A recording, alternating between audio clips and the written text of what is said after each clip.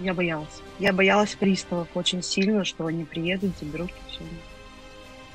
Мама, начнет, у мамы сердце больное. И мне очень не хотелось, чтобы маму терроризировали. Слезы, естественно, нервы. И тогда вот я приняла для себя решение, что нужно идти в банкротство. Другого выхода нет. А в итоге они узнали или нет о том, что вы... Да, да, узнали. Причем первое я поговорила с мамой, когда уже как раз-таки я вступила в процедуру банкротства, когда начались вот эти вот звонки бесконечные, а, кредиторы начали звонить моей маме.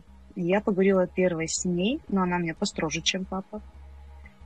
Это тоже что было тяжело, она на меня очень сильно ругалась, естественно, и она и сама плакала, что, господи, как ты вообще это сделала. Но я ее успокоила, она больше переживала за единственное жилье, за мою за долю в ее квартире, что вот, заберут. Я говорю, мам, ничего не будет, это единственное жилье, ничего с ней не сделаю. Да. Потом я поговорила с папой. Папа вообще легко отнесся на самом деле. Он такой, ну ладно, хорошо, исправляй. Все, все, что мне сказал мой папа. И мне стало легче от этого, что мои родители об этом знают. Если вам нужна помощь, если вы хотите разобраться, стоит вам списывать ваши обязательства или нет, можете ли вы освободиться от выплаты ваших кредитов или долгов, напишите мне WhatsApp, мы вас бесплатно проконсультируем. Это проходит онлайн, и с командой моих специалистов мы работаем по всей России. Когда я рассказала своему мужу, причем он тоже не знал, я ему об этом рассказала, естественно, он с недоверием, прям с большим. Вот, делать тебе нечего, это все неправда, ничего тебе не спишут, агентство находится вообще на другом конце России, мы здесь.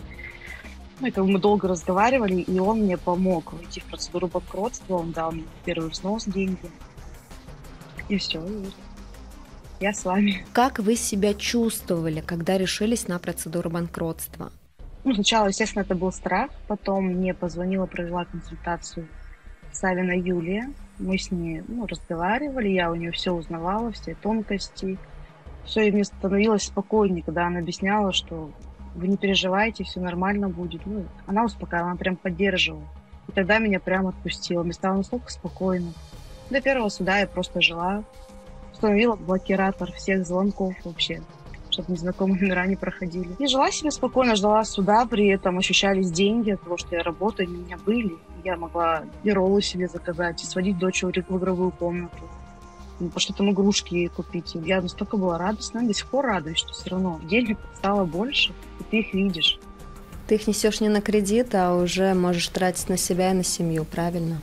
Да, на себя, на семью, побаловать себя чем-то. Съездить в Листвянку на Байкал, Многие люди находятся в такой же ситуации и не видят выхода. А вы как раз будете тем самым светлячком, да, который может показать им свет и куда идти. Продолжение истории вы услышите в следующей серии. Берегите себя и своих близких.